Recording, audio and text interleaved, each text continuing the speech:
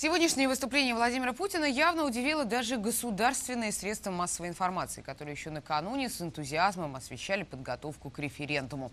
Очевидно, предварительного сигнала о решении президента никто не получал. К чему бы это? Задаем мы вопрос нашему политическому обозревателю Марии Гордон. Мария, здравствуйте, вам слово. Здравствуйте, Лиза. Президент России обратился с призывом перенести Донбасский референдум на более поздний срок с целью создать необходимые условия для диалога с властями в Киеве.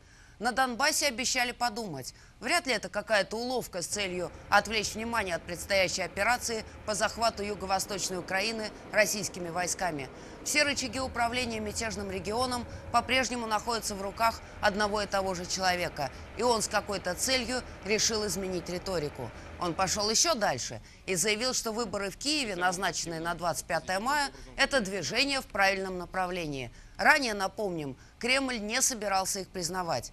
Переговоры между представителем сепаратистов и Москвой, предположительно перехваченные Киевом, в том случае, если они подлинные, говорят о крайней неуверенности так называемых сторонников федерализации в своих силах. Если Россия не войдет, нам крышка, заявил, обильно используя ненормативную лексику, предполагаемый представитель незарегистрированной организации «Православный Донбасс».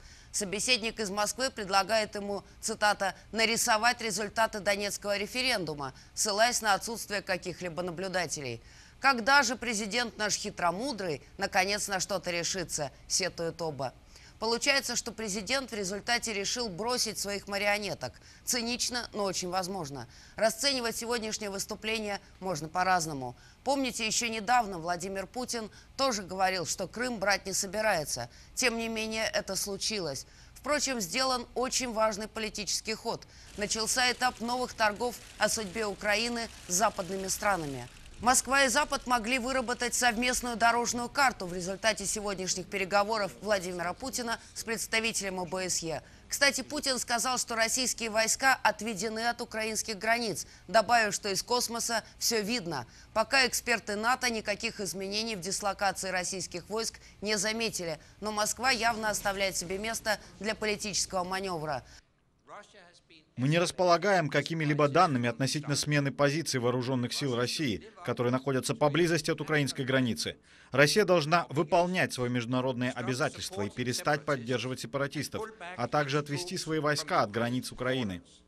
Может быть, на сегодняшней встрече обсуждался вопрос о федерализации, на котором Россия активно настаивает, а киевские власти активно отвергают. В любом случае у Кремля появился шанс выступить в качестве миротворца и потушить гражданскую войну на Украине, этим одержав победу в глазах своего народа и при этом не испортить отношения с Западом окончательно. А истинные причины легко понять. Юго-восток Украины, который уже готов превратиться в так называемую Новороссию, будет очень тяжело прокормить, учитывая положение российской экономики в данный момент. Санкции, подготовленные против целых секторов российской экономики, тоже никому не нужны. Может быть, это обстоятельство играет более важную роль, чем кажется на первый взгляд. Лиза. Спасибо, Мария. Это была политический обозреватель РТВ Мария Гордон.